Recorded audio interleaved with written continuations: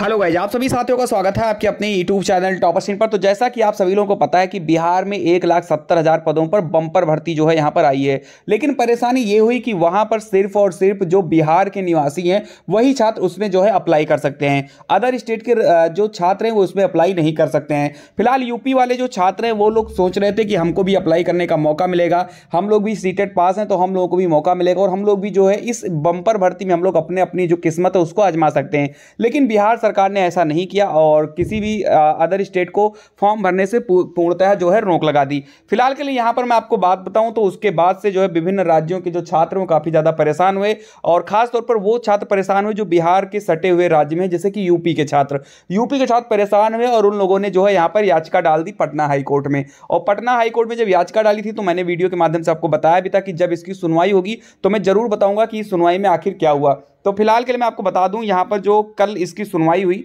यहाँ पर आप देख सकते हैं, ये है वो वाली याचिका।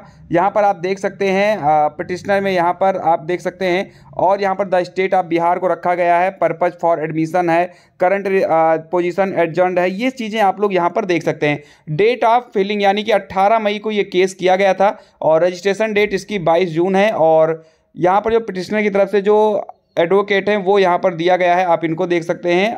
और साथ ही साथ सब कुछ यहाँ पर दिया गया। अब बात करते हैं इसकी जो है सुनवाई कब हुई। तो सुनवाई के लिए यहाँ पर जो डेट है वो 24 जून 2023 यहाँ पर रखा गया था। आप इन चीज़ों को देख सकते हैं। 24 जून यानी कल की डेट में इसकी सुनवाई होने वाली थी।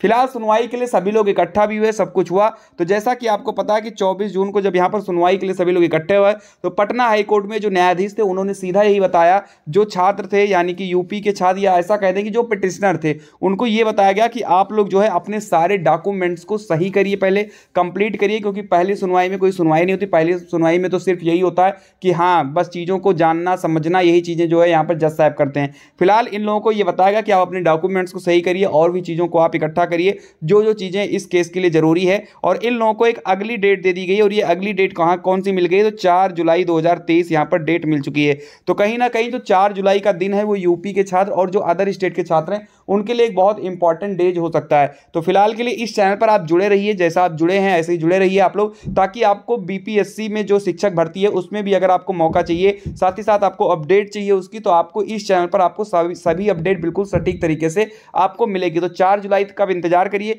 अगर यूपी के छात्रों को भी बीपीएससी यानी ये बिहार शिक्षक भर्ती में अगर आपको मौका मिल जाता है तो समझ लीजिए एक बहुत गोल्डन अपॉर्चुनिटी क्योंकि एक बहुत बड़ी वैकेंसी है, और अगर आपको इसमें जो है मौका मिलता है तो समझ लीजिए कि आप लोग जिस हिसाब से तैयारी कर रहे हैं, पिछले पाँच साल छः साल से आप लोगों को भी एक सीट जो है बिहार में मिल सकती है। तो फ़िलहाल अगर आपको अपडेट चाहिए तो आप इस चैनल को सब्सक्राइब करें, क्योंकि चार जुलाई की जो सुनवाई है, वो काफ़ी ज़्यादा इंपॉर्टेंट होने वाली है। आप लोग कमेंट भी कर रहे थे मैसेज भी कर रहे थे कि, सर, क्या हुआ? केस तो हुआ, लेकिन क्या उसकी सुनवाई हुई या नहीं हुई? तो अभी तक की ताज़ा अपडेट यही है कि कल इसकी सुनवाई हुई थी, जिसमें अगली डेट आपको चार जुलाई दे दी गई है। तो ये रही आज की अपडेट वीडियो अच्छी लगी तो लाइक करें, चैनल पर नहीं तो सब्सक्राइब करें। जय हिंद, जय भारत।